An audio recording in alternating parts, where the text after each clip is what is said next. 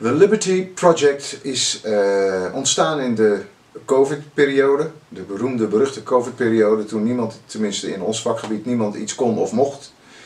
En we zaten allemaal thuis en uh, het eerste jaar ging het nog wel. Het tweede jaar dacht ik van oeh, dit komt nooit meer goed. En als het goed komt, zijn vast alle theaters failliet en alle producenten op de fles. En zit niemand meer op mij te wachten. Weet je wat, ik ga schrijven. En dan ga je zitten en dan komt er natuurlijk niks in eerste instantie.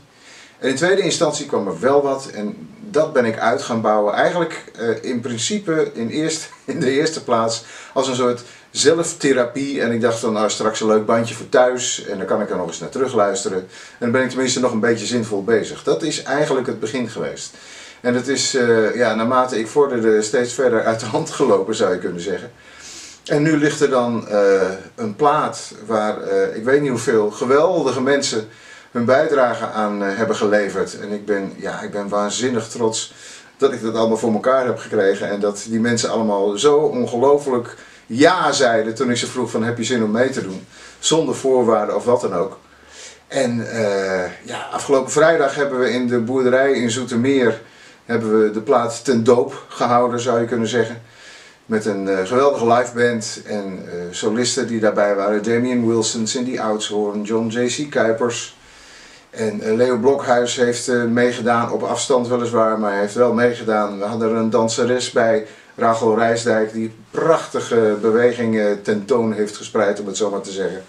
En ja, het was, een, het was een geweldig festijn, ik kan niet anders zeggen. De boerderij zat bomvol, iedereen was razend enthousiast en ik heb me toch een partij warmte over me heen gekregen daar. Dat is niet te geloven. Ik ben er nog steeds een beetje van onder de indruk.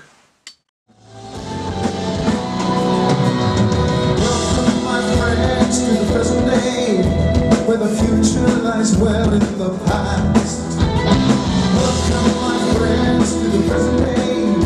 May your doubts, may your confidence last. Oerknal. En als de geschiedenis zich dan meteen herhaald had, dan was er misschien wel een tweede oerknal geweest. En die had dan wellicht een parallele wereld geschapen. Nou, in die wereld bevinden wij ons in de Liberty.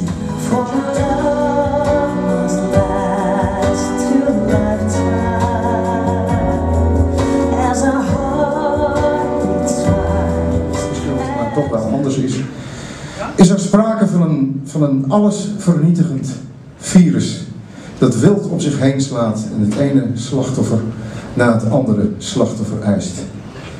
En uh, het virus zelf komt in dit liedje aan het woord. Middels de geweldige stem van John bevolkingsgroep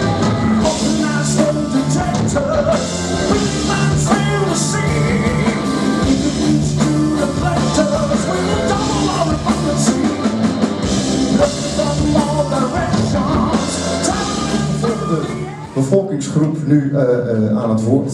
Of tenminste, de, eigenlijk de eerste. Uh, en dat zijn de politici. Ja, die heb je ook in die parallel.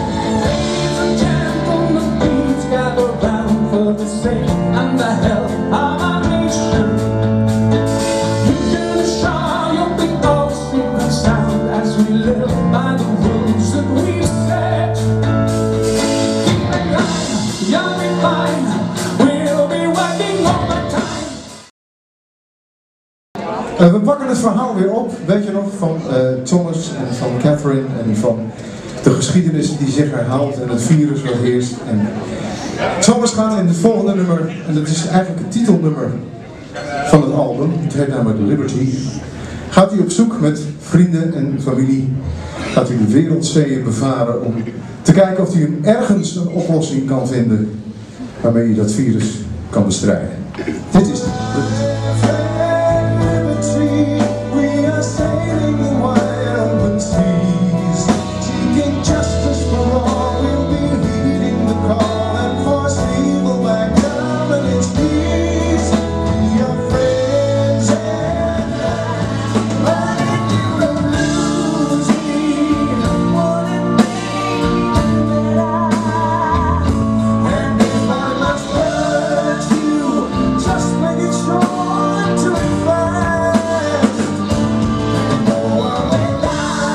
zoiets als oorlog.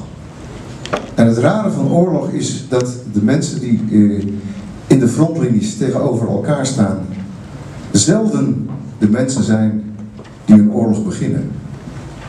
Die mensen zitten ergens eh, in een kantoor of in een paleis of weet ik veel waar en die blijven buiten schot over het algemeen. En de meiden en de jongens die in het veld, in de frontlinie, tegenover elkaar staan en de opdracht krijgen om elkaar dood te schieten, want dan komt het op neer. Hebben we eigenlijk maar vaak, tenminste één gedachte, was ik maar thuis. Was ik maar bij mijn gezin over oorlog. En het heet We Live to Die. We live to die and we will strive.